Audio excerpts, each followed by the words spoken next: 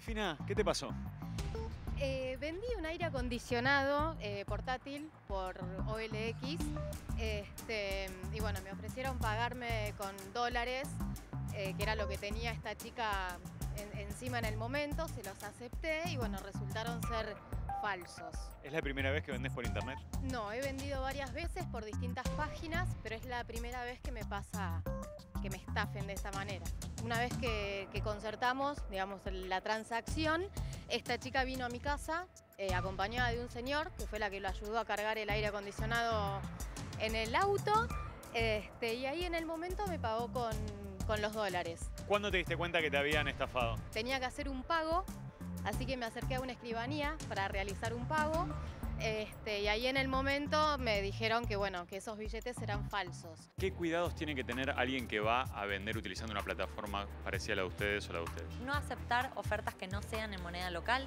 Nosotros nuestra moneda es mucho más familiar y la puedes reconocer mejor. Tratar de encontrarse en un lugar público, hacer, aceptar el pago del producto contra entrega, no pedir adelantos y eh, digamos cualquier tipo de oferta eh, o propuesta que parece demasiado buena para ser verdad, en general no es real. Entonces, esas eh, pequeñas alertas como que te quieren pagar más de lo que vos estás eh, publicando o que te piden que lo envíes al extranjero, esas son señales de que es algo raro y es una transacción que es preferible no hacer. Hay forma de, de rastrear, digamos, a esta persona. El perfil se ve que también es trucho, el teléfono que me dio no me atiende, este, así que, qué sé yo, no hay mucho que se pueda hacer.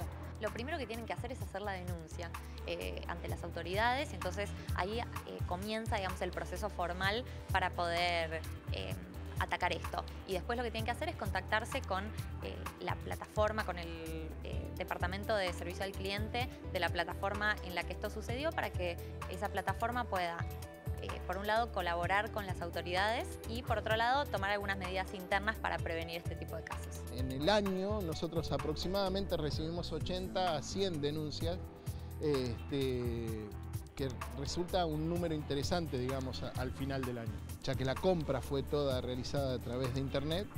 Rápidamente efectuar la denuncia y no borrar nada de lo que tenga, eh, nada de lo que hayas tenido en la negociación. Ahora quizá esto ayude a muchas personas que compran o venden por internet a darse cuenta que hay riesgos y cuidarse un poco más, mirar más de cerca.